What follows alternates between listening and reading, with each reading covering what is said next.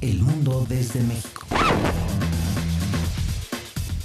Hola, ¿qué tal? Yo soy Ciro Di Costanzo y estas, estas son las noticias en el mundo. En Malasia, otro accidente aéreo, otra vez.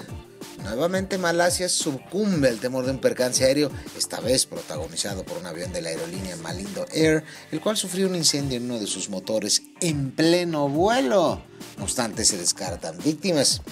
La aeronave sobrevolaba las ciudades de Subang y Kuala Terengganu a unos 2.133 metros de altitud, transportando miembros del equipo malayo de fútbol de esta localidad.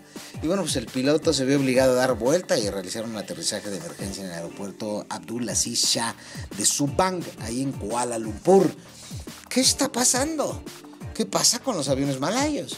¿No tienen mantenimiento acaso? Es lo que se hoy se pregunta no solamente la comunidad de la aviación civil internacional, sino también la comunidad internacional en su conjunto. Déjame voy hasta Crimea, en donde Ucrania ya inicia la retirada de sus tropas.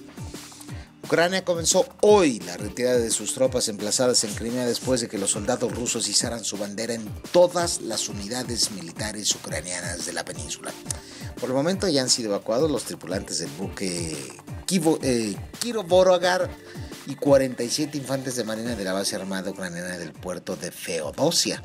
Esto es el detalle más emblemático en términos de símbolos y política de una anexión o de una conquista, como usted quiera verlo. Mientras tanto, en Roma piden al Papa ayuda para inmigrantes latinos.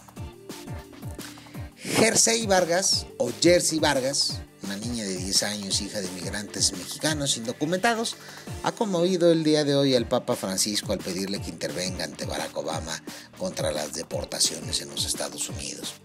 Representantes de la inmigración latinoamericana en Estados Unidos han entregado hoy al Papa Francisco una solicitud para que pida al presidente Obama, con el que se va a reunir mañana, que ponga fin a las deportaciones de inmigrantes indocumentados.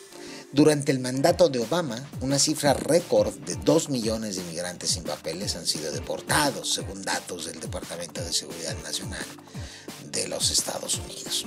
Esto allá en Roma. Y de Roma me voy hasta Colombia, ya que ahí capturan al zar de las drogas sintéticas. La policía colombiana capturó a Héctor Alonso Castro Franci, alias Héctor Largo, miembro de la banda criminal Los Urabeños y considerado el zar de las drogas sintéticas en aquel país, según informó la institución.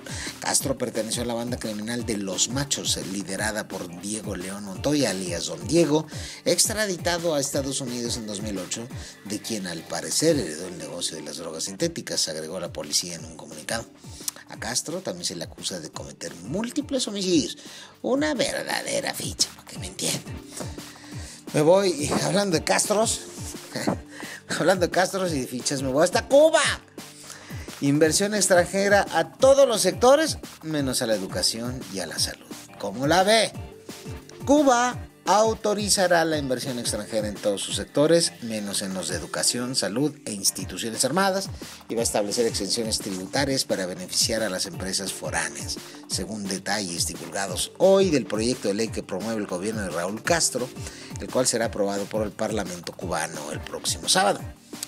La ley de inversión extranjera modificará la vigente con el objetivo de adecuarse a las reformas económicas que impulsa el gobierno para actualizar su modelo socialista. ¿Cómo la ve? 50 años después, el libre mercado comienza a hacer su entrada a la isla. Así son las cosas y así se las hemos contado a usted. Manténgase informado a través de www.bluereport.com.mx y amplía tu mundo. El mundo desde México.